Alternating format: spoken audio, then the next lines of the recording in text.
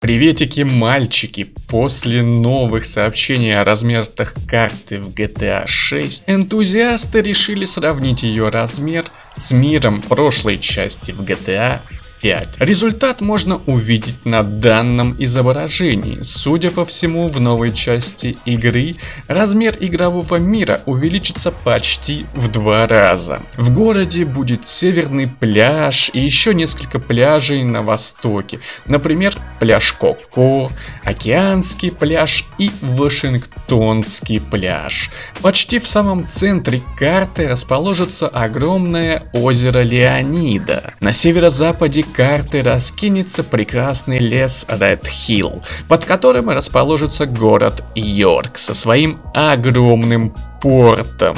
В этом же районе будет и аэропорт. Чуть восточнее города раскинется специализированная гоночная трасса. Вообще, судя по карте, самым густонаселенным местом будет именно Восток, со своими прекрасными пляжами и апартаментами. Жилые кварталы раскинутся с самого севера от района Еконфианака через дорогу 97 до Южных островов. На юго-востоке же раскинется город Скраб. Чуть южнее под ним огромнейший район Даунатаун. Восточнее Даунатауна раскинется небольшой в сравнении с западным порт Уайс, который полностью займет небольшой остров. Около него раскинется еще несколько островов поменьше на севере и востоке. А чуть южнее раскинется достаточно крупный остров с маяком. На юго-западе раскинутся сказочные океанские острова и элитный жилой район. Они будут соединены мостом с Даунатауном. Кстати, из Даунтауна можно будет попасть не только в порт Вайс поблизости, но и в огромный порт Гелхарм на северо-востоке. Дорога из Даунтона куда идет прямо по огромному мосту Пакамара, севернее которого раскинулся лиственный лес с болотами. Дорога по мосту приведет нас в небольшой городок, который называется Маленькая Гаити. Дорога из него и приведет прямо в главный порт центрального острова. Как уже многие догадались, это все город, или точнее регион из игры GTA Vice City. Аналогичная карта, только более проработанная и масштабная. Судя по имеющимся данным, и кадрам, площадь острова из GTA 6 будет многократно превосходить размеры Лос-Сантоса из GTA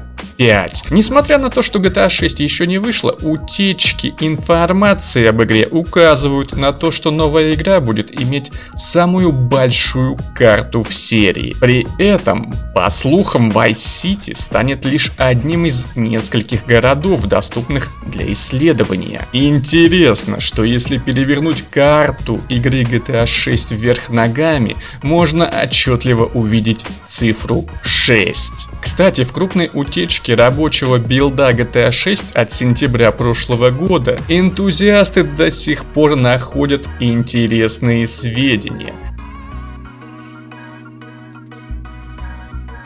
Например, в коде игры обнаружили строки, взятые из игры Red Dead Redemption 2, намекающие на то, что в новой GTA появится непривычный для этой серии игр вид транспорта. Речь идет, конечно же, о лошадях. Для героев серии Red Dead Redemption это привычный способ передвижения. Однако ездовых животных никогда до этого не было в серии GTA. Инсайдер заметил несколько любопытных команд в коде игры, которые явно говорят о наличии лошадей. Он смел. И страшный. И всегда таким был. Вот это будет не напрасно. Мы